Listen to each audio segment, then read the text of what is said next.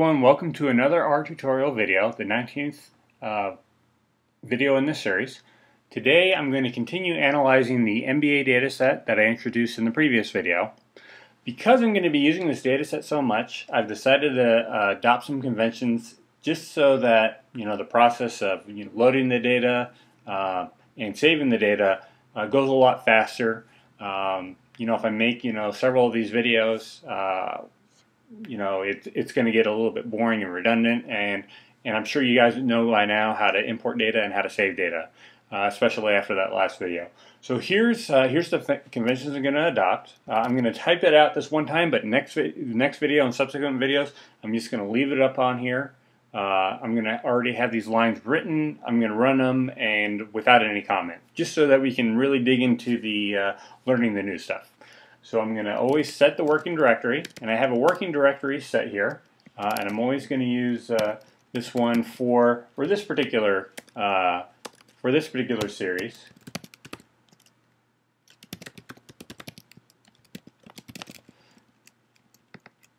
Before I go any further, let me make sure I typed it in right. Yes, looks like uh, I didn't read an error or anything like that. Also, I'm always going to uh, read the data in and I'm going to have a file name here.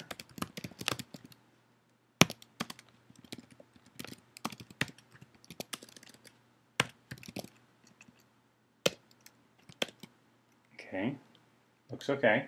And I'm also also always going to write results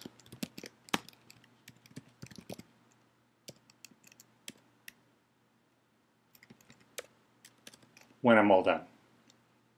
Okay, give myself some space. Uh, okay, so uh, by the way, I should mention now, uh, what I'm going to, what I plan on doing is every time I create a data set and save it uh, or use a data set, I'm always going to provide links in the comments below. If I ever forget or if a link is broken, uh, please, uh, you know, uh, leave a comment. Let me know. I'll uh, I'll fix it as as soon as uh, I uh, as soon as I can and as soon as I realize what the problem is. But but let me know if I happen to forget or something like that. okay, so so just remember next time I'm not going to go through all these steps. I'm already going to have these lines up here. I'm going to run them without any comment, and I'm really just going to dig into the to the new stuff. Okay, so this data set um, that I'm using. It has all the information that I need, but the format is a little bit messy. It's not quite uh, it's not quite in the format that I need uh, in order to perform the, the uh, kind of analysis that I want to do. And actually this is a very common problem in analytics. Uh, very often the data that you need is out there uh, and somebody's providing it uh, for you. It's just not in the format that you need. Um, it could, and it doesn't necessarily mean that uh, whoever stored the data is doing a bad job. They just might not realize the kind of analysis that you that you want to do. Uh, generally speaking, you know, if you do some sort of you know creative analysis or something like that, chances are the data that somebody is giving you, uh, it's not going to be in the uh, correct format. You're just going to have to come up with a creative way to to get it in the format that you want. Uh, so I'm I'm going to uh, you know uh, leave it at that. Just kind of realize that there's a lot of the work in analytics is taking uh, the, the information that you get and, and manipulating it and getting it in the form that you want. So this is a really real part of, of data analytics. Okay, so let's remind ourselves what this data set looks like uh, by using the head function. And in particular, I want to focus on the game ID field. It's that very first field there. And notice those first eight characters, they actually contain date information. The first four characters are the year, 2012.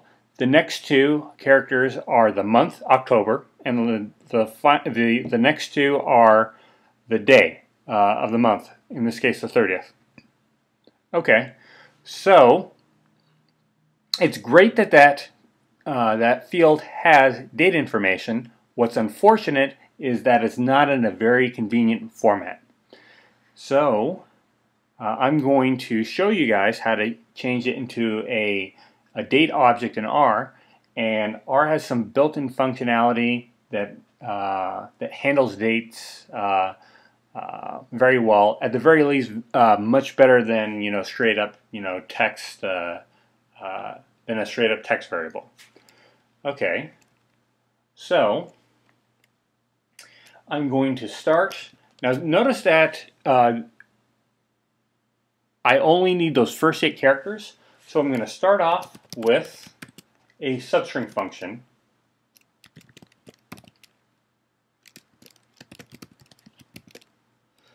And uh, first is the vector that I want to substring.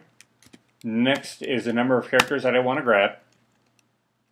And let's go ahead and run this. Uh, whoops, uh, looks like I, I made a typo. I typed UD instead of ID. Let's run it.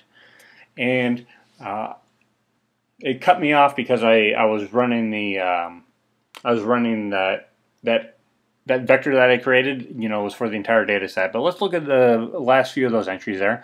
We can see that we are grabbing those eight characters that I wanted. So that substring character is grabbing those correct, the you know the information that we wanted to grab, but it's still not converted into a data object. That's what we're going to do in the next step here. So once I grab that vector uh, with all those uh, with all that data information in there, I'm going to have to convert it into a date variable. There is a built-in function in R called the asDate function. Now, before I go too much more into the asDate function, um, just keep in mind that date information uh, is a little bit of a tricky subject because there are so many ways to store date information. Uh, just think about it looking at this variable, you know, I did uh, what the the way that the information was stored was year, month uh, as a number, and uh, day as in like uh, you know the day of the the day of the month. But the, a lot of other ways to you know store dates. There's you know maybe month first, then day, and then year with dashes in between, or maybe day, then month, then year with slashes in between, and so many other ways that I that I'm just not going to go into. Uh, but because there's so many different ways to write dates, uh, there's just uh, you have to be aware of you know how to handle all those different situations. Because of that, I highly recommend that you read the documentation that is under uh, and let me, uh, I'm going to type it down here in the console. Uh, actually, uh, let me type it up in, uh, in the source. Uh, it's strptime. And you can see that documentation popped up on the right hand side. If you're working with a data set with dates, I highly recommend reading through this, uh, or at least being aware that it exists, so you can refer back to it later, so you uh, so you understand how to handle uh, uh, these text objects with data information in there. Now, the first object, uh, the first uh, argument in this as date function is the is a vector with character with with with text that contains the data information. The next part is a uh, it's a rep representation of how the data information is stored. And let me type it uh, type out that representation and I'll talk through it and I think it'll be a little bit more clear once I type it out. Okay, so let's look from left to, to right in the second argument what is in there. There is a percent sign, capital Y, percent sign, capital, uh, sorry, lowercase m, percent sign, lowercase d. What that means is it's going to have a, a four-digit year, a two-digit month, and a two-digit day. The capital Y means four-digit year, lowercase m means two-digit month, lowercase d means two-digit day. With no slashes and no dashes, that is the way that my data information is stored in my text variable. Uh, as I mentioned before, uh, if you're working with a different data set with, uh, with dates stored a different way, read that strptime uh, documentation and it'll tell you how to, how to handle most of the situations. Okay, so I'm going to run this variable, uh, sorry, run this, uh, run this line and see what I get. And it cut me off again, but notice that it's uh, it reformatted the date, um, and it looks like a text variable, but it's not. It actually converted, changed that to a date variable. And, uh, and the way to see that is, let's say I did class and run this function here on this. You can see that as a date rather than a uh, rather than text. So that class function tells you what uh, what what type of variable it is, and uh, I've actually have converted it to a date. So I'm going to store this in my data set.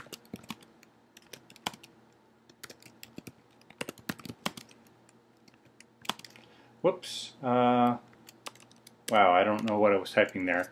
Uh, but I'll, I'll pause here for a minute and you can see I'm going to create a game date variable and I'm going to store in that game date variable uh, in that in my data frame uh, all that data information that I just created.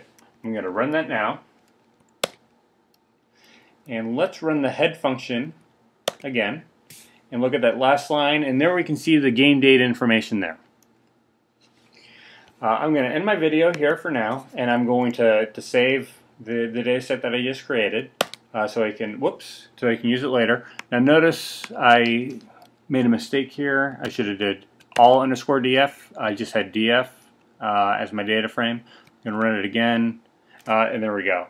Uh, so I saved my results. Uh, so uh, this video is getting a little bit long, so I'm going to end it here. Uh, but next video, I'm going to pick it off, pick it up right on, right where I started last time, and continue cleaning up this uh, data set. And then after that, we can really dig into uh, analyzing this data. So uh, hope that helps you guys, and I'll see you guys next time.